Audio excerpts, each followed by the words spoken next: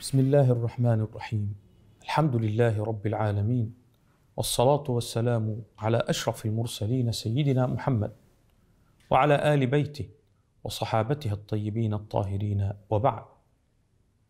فإن الله سبحانه وتعالى أمرنا بمحاسبة النفس أن تحاسب نفسك وأن تفتش في أعمالك. فقال يا أيها الذين آمنوا اتقوا الله ولتنظر نفس ما قدمت لغد واتقوا الله إن الله خبير بما تعملون.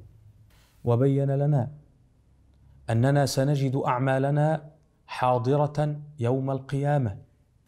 وهذه الأعمال إما أن تشهد لك وإما أن تشهد عليك. فانتبه وتأمل هذا الموقف. عندما يحكي القرآن الكريم يوم تجد كل نفس ما عملت من خير محضرا. حاضرا. ظاهرا أمام عينيك. وما عملت من سوء. تود لو أن بينها وبينه أمدا بعيدا. يريد أن يهرب من أعماله السيئة يوم القيامة. قال العلماء معنى محاسبة النفس أن تقايس وأن توازن بين نعم الله عليك وبين معصيتك لربك. أن تفتش في نفسك. الله سبحانه وتعالى أنعم عليك بنعم لا تعد ولا تحصى. ومع ذلك أنت تعصي ربك. أن تفتش في هذا الأمر. وأن تقيس هذا الأمر. هل يليق بالكريم؟ سبحانه أن تعامله هذه المعاملة. يعاملك بالنعم. وأنت تعامله سبحانه بالمعاصي والذنوب. الخير من الله إليك نازل والشر منك إليه يصعد. بأعمالك السيئة هل يليق بك أن تعامل الكريم سبحانه؟ هذه المعاملة. يا أيها الإنسان يا أيها الإنسان ما غرك بربك الكريم؟ الذي خلقك فسواك فعدلك فمعنى محاسبة النفس أن تنظر في هذه النعم التي لا تعد ولا تحصى. وأن تنظر إلى ذنوبك. يقول الشيخ مكين الدين الأسمر رضي الله عنه وأرضاه كنت في آخر النهار أحاسب نفسي وأحسب الكلمات التي تلفظت بها. تكلمت خمسين كلمة ثلاثين كلمة.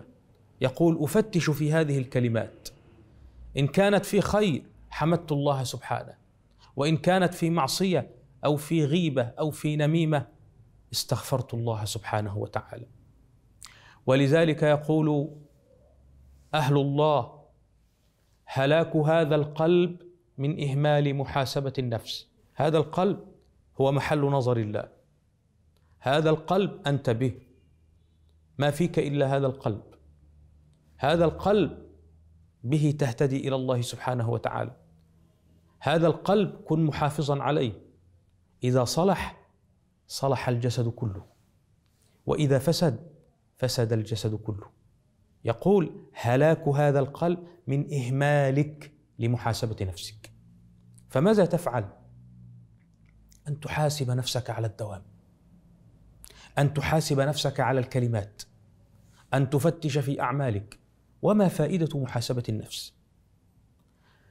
فائدة محاسبة النفس هي تربية الضمير وأن ترى عيوبك ومن رأى عيبه كان أحرى بإصلاحه. من رأى عيوبه علم كيف يصلح هذه العيوب. وفوائد محاسبة النفس أيضا أنك تجتهد في الطاعة لا ترضى عن نفسك. فلا تنظر إلى نفسك بعين الكمال وإياك أن ترضى عن هذه النفس. كن محاسبا لنفسك على الدوام. يقول الشيخ أبو يزيد البسطامي رضي الله عنه وأرضاه من ظن أن في الناس من هو شر منه فهو متكبر. فما ينبغي عليك أن تظن أنك أقل الناس. أقلهم في الطاعة أكثرهم في التقصير أكثرهم في الذنوب والمعاصي.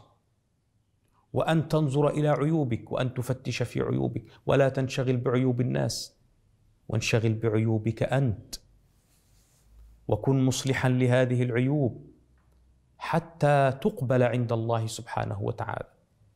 يا أيها الذين آمنوا اتقوا الله ولتنظر نفس ما قدمت لغد واتقوا الله إن الله خبير بما تعملون. أسأل الله سبحانه أن يحفظنا وإياكم من كل مكروه وسوء وأن يحفظ مصر وسائر بلاد العالمين. والسلام عليكم ورحمة الله وبركاته.